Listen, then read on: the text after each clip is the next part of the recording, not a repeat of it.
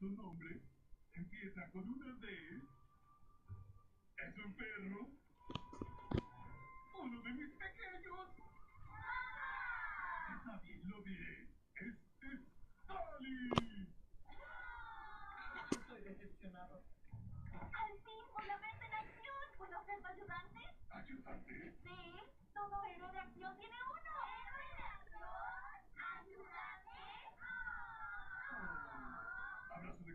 para los demás?